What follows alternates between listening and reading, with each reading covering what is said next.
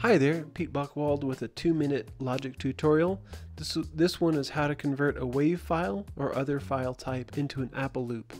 This Apple loop will snap to the grid of your session, no matter what tempo it was recorded with originally, and it will be searchable here in our browser. So let's grab a file. Here we go, this one's a WAV file. This one was recorded at 80 beats a minute, and so it just happens to fall out to three measures instead of the two measures we need it to be. So our first step is to make sure this is highlighted and go to the audio menu, open an Apple Loops utility.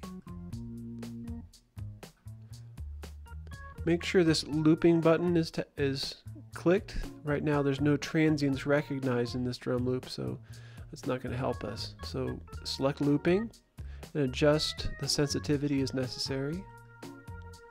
You notice at the bottom, make sure this is at 80 beats a minute. That I know that's the original tempo. There we go.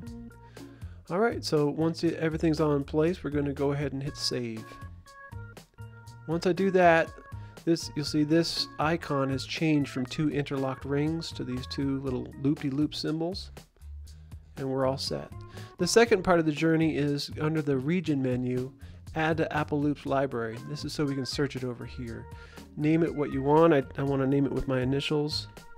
PB loop. I'm going to call it number four.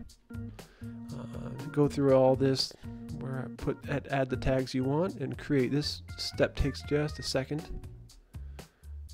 And once this is complete, we'll be able to search for it in our browser over here.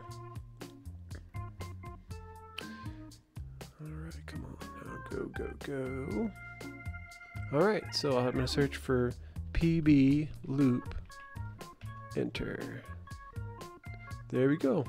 Thanks a lot for watching.